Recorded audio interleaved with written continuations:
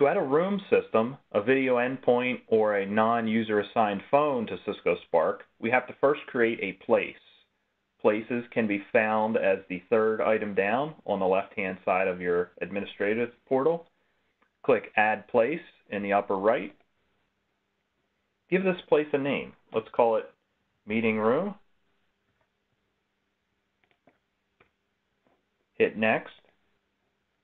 Select the type of device. Is it a phone or a video endpoint? Choose Room Device for video endpoint. You can assign the device a telephone number for PSTN calling, or you can use it exclusively for video calling. In this case, let's assign a PSTN number as well. Choose Next.